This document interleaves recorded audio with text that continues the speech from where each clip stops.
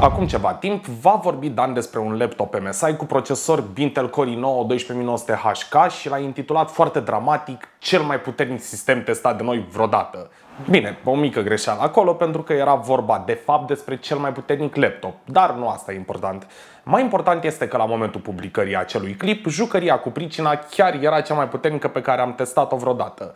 Și recunosc că am rămas masc în fața laptopului care rula fără să transpire absolut toate jocurile pe care i le-am băgat pe gât și a rupt în două orice test sintetic. Dar evoluția e în firea omului, iar astăzi mă văd nevoit să dărâm afirmația lui Dan și să vă povestesc despre unul dintre cele mai puternice laptopuri din lume. Gen, nu doar așa, cel mai puternic testat de noi. Nu tati, astăzi este despre numere SFN teste, despre performanță maximă în gaming și despre un alt laptop care te face să te simți prost că umbli cu doi rinichi. Și în plus să nu credeți cumva că v-am uitat. Astăzi dezvăluim și câștigătorul sistemului de 10.000 de lei pe care l-am construit la începutul lunii. Și ce ocazie mai bună să dăm cadou un sistem Asus TUF, dacă nu în cadrul unui review pentru un laptop Republic of Gamers Strix Scar 17 SE. Ce să mai, dacă aveam și tricou Asus TUF, era complet setup-ul, dar am improvizat și mi-am îndesat abdomenul nedus la săliță în tricoul ăsta de la ROG. Mi-am pregătit partea funcțională din creier cu informații pentru voi și nu în ultimul rând am mai făcut mici retușuri la PC, așa că o să fie o petrecere cu instalare de Windows pe cinste. Dar înainte să începem, știți rutina. Nicolas, intro tată!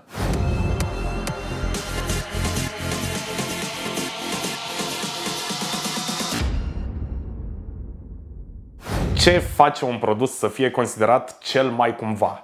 Păi, de multe ori este o părere destul de subiectivă. Adică putem spune că X laptop este cel mai frumos sau cel mai eficient sau cel mai nu știu cum. Dar există un lucru pe care îl putem măsura atât de simplu și eficient încât la final putem spune fără doar și poate că un anumit laptop este cel mai puternic din lume.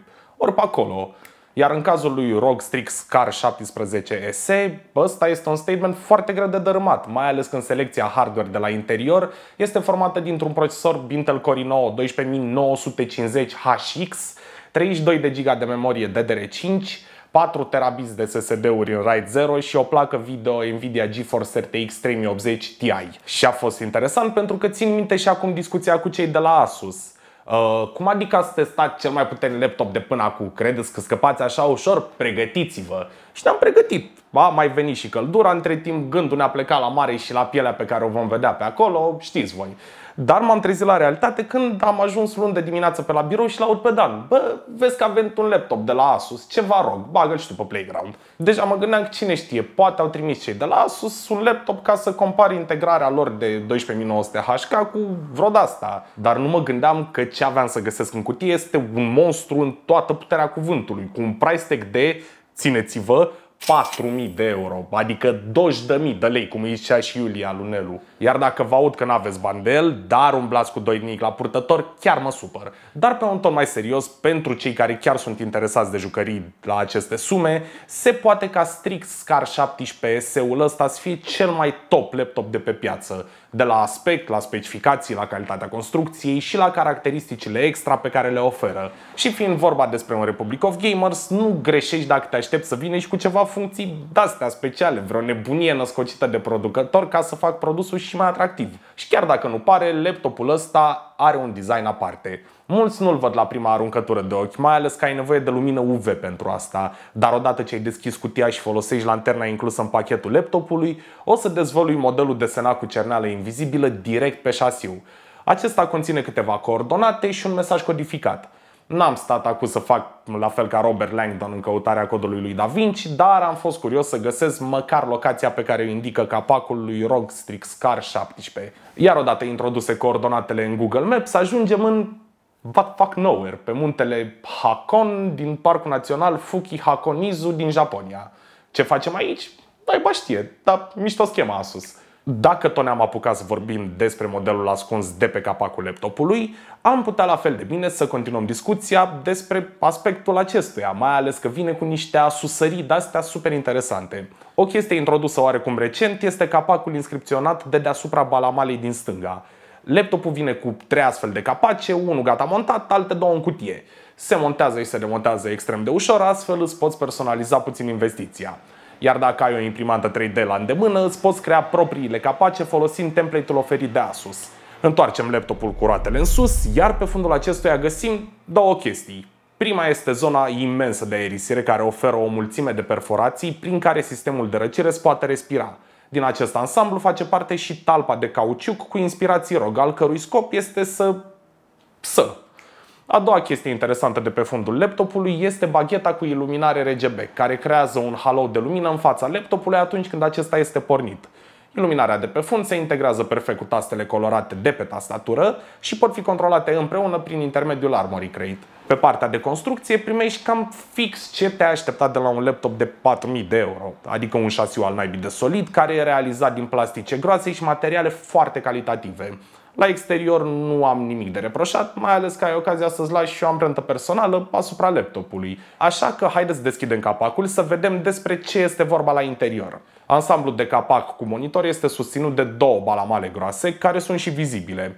Acestea separă ecranul de restul șasiului, astfel se creează un spațiu între cele două elemente și căldura disipată de sistemul de răcire nu se izbește de zona inferioară a display-ului, cum vedem adesea în cazul altor laptopuri de gaming. Există însă și lucruri mai puțin plăcute, ori cu care eu unul nu mă pot obișnui, iar printre acestea se numără obsesia inexplicabilă cu plasticele transparente pe care o au cei de la Asus. Personal nu gust deloc zona de plastic transparent și cu atât mai puțin dunga pentru delimitare care este marcată cu logo-ul ROG la distanță prea mică, care peste toate astea mai sunt și teatre de margine. Mi se pare fix lazy design și e o idee chicioasă pe care nu o pot aprecia, în ciuda modului în care se prezintă, în rest, acest laptop. Plasticul transparent e pentru jucării, pentru controlere medkits din anii 2000, dar clar nu pentru produse premium de la Republic of Gamers, care mai mereu au inspirat putere și eleganță. Pe lângă asta, elemente noi de aspect nu prea mai sunt. Tastatura este aceeași ca la ultimele generații de ROG Strix Car, 12 se află în aceeași situație, astfel nu voi pierde timp explicându-le. Sunt folosite de atâta timp pentru un motiv, iar dacă n-ar fi fost bune, ori măcar decente, cu resursele celor de la Asus sunt sigur că s-ar fi găsit rapid o alternativă. Conectivitatea de pe lateralele laptopului este bogată și este împărțită cam 50-50 între marginea din spate și cea din stânga. Pe stânga ai un conector audio jack și două porturi USB 3.2 generația 1 de tip A, adică alea clasice. Iar pe spate ai alimentarea alături de un RJ45 cu suport pentru internet 2,5G, un HDMI 2.1 cu suport 4K High Refresh Rate, un USB 3.2 Gen 2 Type-C cu suport pentru încărcare și DisplayPort, iar pentru a completa salata de porturi mai avem și un Thunderbolt 4 compatibil cu noul standard de USB 4. Știu eu, știu, așteptați cu toți să vedeți cât e de puternic, dar vă zic, ecranul de pe laptopul ăsta merită puțin atenție. ROG Strix Scar 17 vine cu două variante de ecran, Full HD la 360 de Hz sau Quad HD la 240. Eu l-am primit în TSP cel din urmă, care vine cu un timp de răspuns de doar 3 milisecunde, suport pentru Dolby Vision și o tehnologie de Adaptive Sync. Asta îl face unul dintre cele mai capabile și corecte ecrane de laptop pe care le-am văzut în ultima perioadă. Și nu este capabil doar din punct de vedere al vitezei de răspuns, ci și a ratei de reîmprospătare, dar și în scenarii în care culorile ies în evidență. Cu ochiul liber pare a fi vorba despre un panou IPS care oferă niște culori foarte vii, unghiuri de vizualizare decente și per total mi se pare că dă cea mai curată imagine dintre cele trei tipuri de panouri principale, adică TN, VA și IPS. Iar în cazul acestuia, luminositatea este numai bună. Nu avem ghosting, nu creează niciun artefact și cu o diagonală de 17 inch reușește să-ți afișeze destul de multe detalii. Aici aș putea însă să fac și o recomandare pentru că la o diagonală atât de mică, chiar și la rezoluție Full HD, densitatea de pixeli e destul de mare, încât orice imagine randată la rezoluție nativă arată foarte, foarte bine. Pentru un boost de performanță le-aș putea recomanda doritorilor să meargă pe mâna panoului Full HD în defavoarea celui la 1440 40p. Astfel se vor bucura de mai multe cadre pe secundă, în schimbul unui trade-off foarte mic de calitate. Plus că aia 360 de Hz vor servi drept mare avantaj pentru jocurile e-sports. Bine, nu știu dacă panoul Full HD este la fel de calitativ ca ăsta atunci când vorbim despre culori și acuratețe, dar să presupunem că la prețul unui astfel de laptop nu ai voie ca producător să pui un ecran slab. Pe partea de sunet, ROG Strix Scar 17S reușește să impresioneze la fel de mult. Sistemul audio de la interior folosește două tweetere și două ufere orientate în jos, astfel ai impresia că sunetul țâșnește de pe lângă ecran. Iar unde display-ul știe de Dolby Vision, difuzoarele sunt și ele olin la mâna asta și pun pe masă suport pentru Dolby Dolby Atmos, suport pentru formate high-res audio și o tehnologie inteligentă de anulare a zgomotului. Toate astea susținute de o componentă software care creează un sunet surround 5.1.2 digital. Pentru filme și jocuri, difuzoarele astea sunt cam tot ce-ți trebuie. Și acum că știm cum arată, cât e de solid și cum sună, este timpul să vedem cam câtă putere ascunde acest laptop sub șasiu. Dar înainte de a face asta, vreau să vorbim puțin despre configurația hardware pentru că numai asta ar merita un video pe cont propriu. Începem cu procesorul, care este un Core i9 12950 HX, adică cel mai cel model pe care l-a dezlănțuit Intel pe piața de laptopuri. Folosește aceeași arhitectură Alder Lake pe care am văzut-o și la 12900 HK, doar că oferă o configurație de nuclee puțin diferită. În cazul de față avem 8 nuclee performante și 8 nuclee eficiente, pentru un total de 16 nuclee și 24 de threaduri. Iar dacă frecvența de 3,6 GHz de pe nucleele eficiente vi se pare generoasă, stați să vedeți ce frumos ajung nucleele performante la 5 GHz. Mai pui la socoteală și băia 30 de MB de memorie cache și te alegi cu un procesor de laptop pe care cu greu mă abțin să nu-l compar cu flagship-ul dedicat sistemelor desktop. Însă aici există și un mic caveat, întrucât consumul de 55 de W nu spune decât o mică parte din poveste. În realitate, Core i9 12950 HX soarbe circa 157 de W. Performanța este însă pe măsură, iar comparația cu 12900 HK pare puțin dezechilibrată. În testele care folosesc un singur nucleu, precum Cinebencher 20 și POV Ray, sporul de performanță nu este chiar atât de mare. Odată ce ai pus însă la treabă toate cele 24 de fire de execuție, te alegi cu un procesor care învinge la diferență mare ceea ce credeam a fi cel mai puternic procesor de laptop de pe piață. În sine Bencher 20 avem 6151 de puncte, obținute de 12900 HK, contra, și țineți-vă bine, 8895 de puncte înregistrate de 12950 HX. În POV Ray diferența este tot mare, scorul fiind 7832 la 5636. În V-Ray Benchmark avem poate cel mai mare dezechilibru cu o îmbunătățire de circa 50%, adică 11.018 puncte versus 16.134. În Blender vedem aceeași situație, deci putem deja să tragem o concluzie atunci când vorbim despre puterea brută a procesorului. Însă situația stă diferită atunci când vorbim despre sistemul ca întreg. Odată ce memoria DDR5 super rapidă și placa video RTX 3080 Ti intră în joc, experiența se îmbunătățește semnificativ. Asta s-a văzut în 3D Mark și Superposition, unde ROG Strix Scar 17S a punctat foarte, foarte bine. Avem 13532 de puncte în Time Spy, 16201 în Fire Strike Extreme și 11306 în Superposition 4K Optimized. Ok, hai să lăsăm joaca la o parte și să trecem la treburi serioase. Apex Legends a rulat la setări ultra cu rezoluție 1440p și am obținut o medie de 174 de cadre pe secundă cu o valoare 1% de 105. În Counter-Strike Global Offensive am folosit setări maxime, aceeași rezoluție și o hartă de benchmark, unde am obținut o medie de 296 de cadre pe secundă și o valoare minimă de 130. Și am lăsat Cyberpunk 2077 la urmă pentru că aici am testat trei scenarii diferite. Prima dată am văzut o medie de 96 de FPS la Full HD cu presetul Ultra, după care am urcat rezoluția la 1440p și am scăzut media de cadre la 59, însă cu rezoluție 1440p, setări Ultra, Ray Tracing Ultra și DLSS pe Balanced, am obținut cea mai bună experiență cu o medie de 58 de cadre pe secundă și o valoare minimă de 48. Iar asta înseamnă că laptopul a rulat foarte stabil la setări pe extrem de dificil de rulat. Deci, ce ziceți? Fain rezultate, ha? Dar dacă v-aș spune că se poate leacă mai bine de atât, m-ați crede pe cuvânt? Și nu, nu exista alt laptop și mai puternic decât ăsta prin oferta Asus.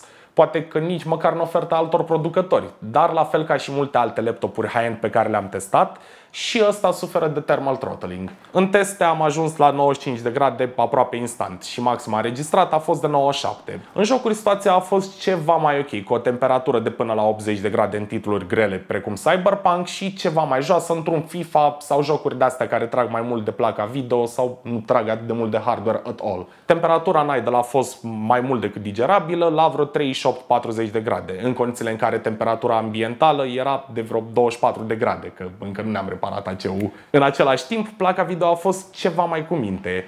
În teste nu a trecut de 85 de grade Celsius, în timp ce în gaming am văzut-o și pe la 60 de grade. Deci nu-i rău deloc. Iar aici, oricât de grav ar părea situația, trebuie să le au apărarea celor de la Republic of Gamers. Inginerii care au gândit răcirea lui ROG Strix Scar 17 chiar și-au dat silința și au construit un sistem de răcire foarte potent.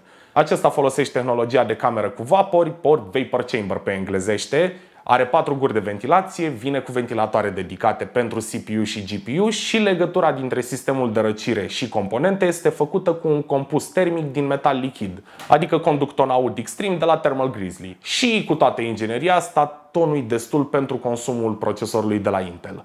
Dacă Asus nu ar fi încercat, aș mai fi spus. Dar pentru un laptop oarecum compact, asta e fără doar și poate cea mai bună soluție de răcire pe care am văzut-o. Iar aici ar trebui să tragem un mic semnal de alarmă, întrucât procesoarele moderne fie ele și de laptopuri, vin cu valori de consum imense pentru a atinge nivelul de performanță pe care îl visează producătorii. Toată situația asta se varsă în final în capul utilizatorului, întrucât te alegi cu un sistem mai cald, care consumă mai mult și care este expus unor condiții dificile o perioadă mai lungă. Iar de la un procesor pe care Intel îl vinde cu vreo 600 de dolari către integratorii de sisteme ca Asus, nu pot să apreciez deloc lipsa de efort depusă de tabăra albastră.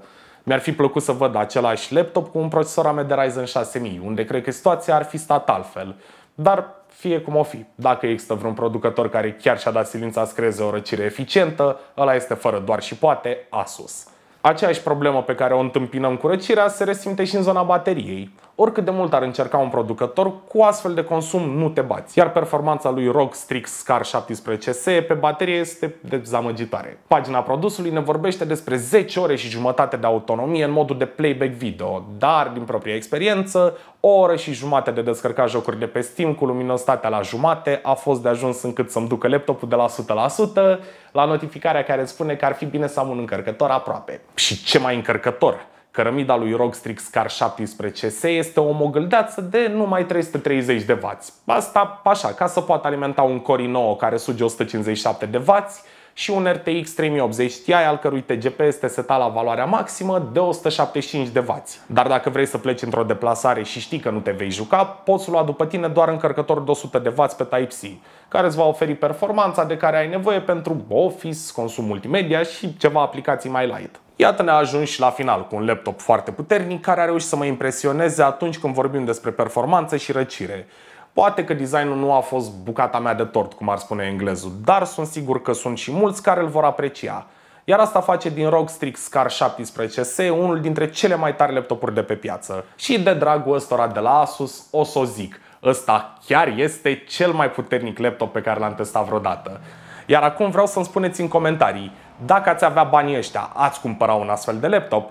Iar ca să nu fiu doar eu cu părerea aici, vouă cum vi se pare designul laptopului? Sunt eu nebun sau plasticul transparent chiar nu mai e la modă? Dar gata cu subiectul ăsta pentru că a venit momentul pe care l așteptați cu toții. Dezvăluim cine este câștigătorul sistemului TAF Gaming în valoare de 10.000 de lei. Înainte de a face asta, vreau să vorbim puțin despre mecanismul concursului și să vă spun cum am făcut până la urmă extragerea. Deci, planul inițial era să citesc 2000 de comentarii, pe care în mintea mea le-am estimat la vreo 1000, at best. Dar nu m-ați dezamăgit, așa că am schimbat mecanismul și am folosit Comment Picker. Odată trântit linkul de YouTube acolo, numărul de comentarii unice a rămas la 1966. Vă dați seama, 1966 dintre voi ați venit și mi-ați dat mie atenție aici. Și v-aș da la toți câte ceva dacă ar fi după mine și aș avea dar trebuia ca din astea aproape 2000 de suflete să rămân la o mână de oameni, dintre care să aleg un singur norocos câștigător. După ce am extras câteva minute bune comentarii cu Comment Picker, am făcut o listă.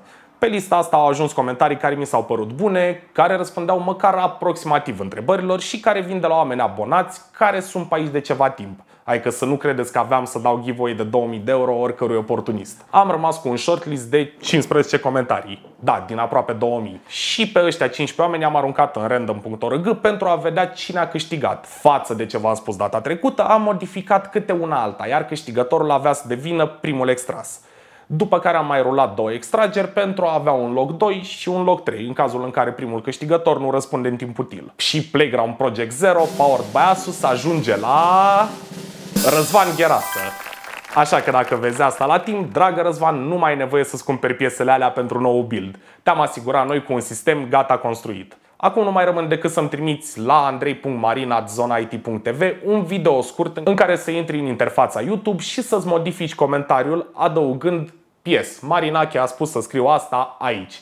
Asta așa ca să-ți confirmăm identitatea.